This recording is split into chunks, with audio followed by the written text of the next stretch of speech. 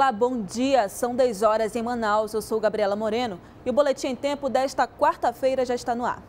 Ontem, os professores se reuniram com o governador em exercício, Carlos Almeida, para tratar sobre as reivindicações dos educadores. As partes não entraram em acordo e a categoria decidiu manter a greve. Muitos profissionais acamparam em frente à sede do governo em protesto.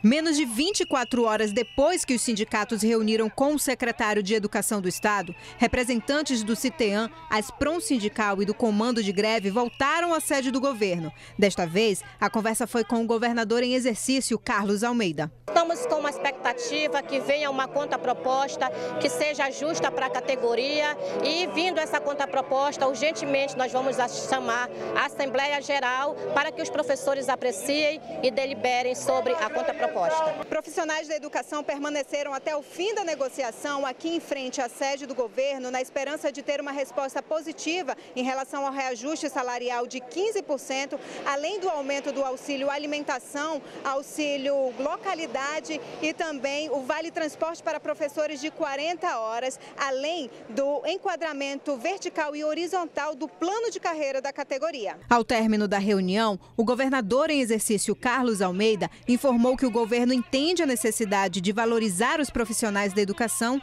e vai fazer uma análise de valores junto à Secretaria de Fazenda do Estado. Caso tenha havido no processo de negociação ocorrido no ano passado a a ausência de inclusão de qualquer percentual que seja perda ao longo desses quatro anos, esse percentual será analisado pela Secretaria de Fazenda e, a caso confirmado, será proposto à Assembleia. Mas uma coisa muito simples, não se descura da necessidade de se dar aquilo que já é de lei. Os 3,93, o governo não se recusará em conceder. Não é possível, obviamente, ganhos reais, mas todas as medidas de valorização poderão ser implementadas. De acordo com os representantes da categoria, a greve, que já dura mais de uma semana, deve continuar. Alguns professores montaram barracas em frente à sede do governo em protesto. Professores estão esperando uma proposta decente para a categoria. Além da capital, mais de 40 municípios do interior do Amazonas permanecem com as aulas suspensas nas escolas estaduais.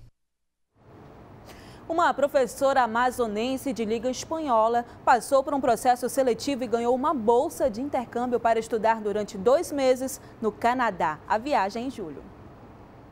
Hola, me llamo Priscila Rocha, tengo 31 años, soy aquí de Manaus, soy profesora de español en la escuela Solon de Lucena en el turno nocturno.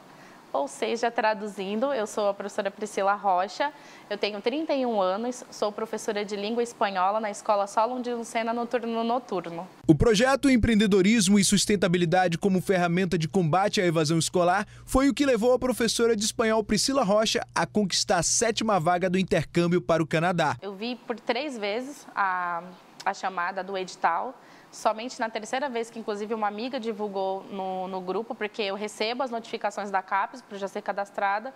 Só que Canadá é algo tão distante, só fala inglês e francês, na minha, na minha cabeça não seria algo que eu conseguiria entrar.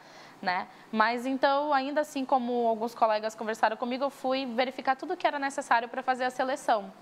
Eu me encaixava nos, nos critérios de seleção, que era ter básico de espanhol ou básico de inglês. Eu sou fluente em espanhol e tenho o básico de inglês, mas precisava fazer um projeto de intervenção pedagógica. E então eu decidi meio que com o pé atrás, ah, é gratuito, é pela internet, eu não passando não vai me danificar em nada economicamente nem em nada.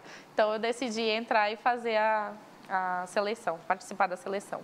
Apaixonada pelo espanhol, a professora Priscila realmente teve que ultrapassar fronteiras. Os livros deram lugar a outros materiais utilizados dentro de sala de aula, como jornais, embalagens de giz de cera e pincéis, entre outros, que são materiais utilizados no dia a dia de cada um dos estudantes. Ficamos assim extremamente felizes com a vitória da professora porque a vitória dela, com certeza, é a vitória da escola, a vitória dos alunos, a vitória de todos que estão aqui. A professora é a única amazonense a ser selecionada para o intercâmbio. Ela se junta a outros 101 professores de outros estados brasileiros. A viagem para o Canadá é em julho e tudo pago pelo governo federal. O peso de uma grande responsabilidade, porque eu não fazia ideia que ia tomar uma proporção, uma visibilidade tão grande. Eu achei que eu ia ficar entre os meus colegas da escola e dizer: olha, você vai para o Canadá, ia ficar ali naquele mundinho e aí ia parar.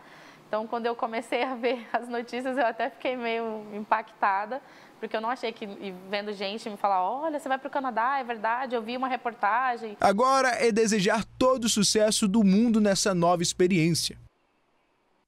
O Parque do Idoso na zona centro-sul da capital vai ser revitalizado. Uma ordem de serviço para dar início às obras foi assinada pelo prefeito de Manaus. Dona Jardelina tem 73 anos e já frequenta há dois o Parque Municipal do Idoso. Ela vem todas as terças e quintas fazer exercícios, cantar e conversar com as amigas. E diz que o espaço lhe traz felicidade. Que esse é um espaço que está valorizando a nossa vida, a nossa saúde. Sem a nossa saúde, ninguém é nada, né? E aqui é um espaço ótimo, excelente e temos muitos amigos aqui de verdade. O local vai ganhar ainda mais qualidade de vida. Uma ordem de serviço para dar início à revitalização do espaço foi assinada na manhã desta terça-feira pelo prefeito de Manaus. As obras devem começar em 60 dias e vão ser realizadas por meio da emenda parlamentar aprovada em 2016. Neste momento, nesta solenidade, já o prefeito assinando a ordem de serviço para que a gente possa iniciar as obras de recuperação, de embelezamento né, do Parque Municipal do Idoso. O projeto de revitalização pretende ampliar as áreas de convivência aqui do parque, com obras de pavimentação, melhorias na acessibilidade, plantação de 78 novas árvores, além de novos equipamentos públicos. Toda essa obra deve custar cerca de 92 mil reais. Cedemos uma parte do orçamento para os vereadores darem a sua participação e entrarem com seus projetos, os seus projetos serem acatados e nós pagarmos os projetos dos vereadores. O vereador Tomás Bichibol ele fez já uma proposta é, que inclui a nova pista de caminhada, que inclui uma porção de melhorias aqui. O Parque Municipal do Idoso é gerenciado pela Fundação Municipal Dr. Thomas, atendendo aproximadamente 3 mil idosos por dia. A seguir, a preparação da judoca representante do Amazonas para os Jogos Escolares Brasileiros, disputados nesta quinta e sexta em Brasília. É já já.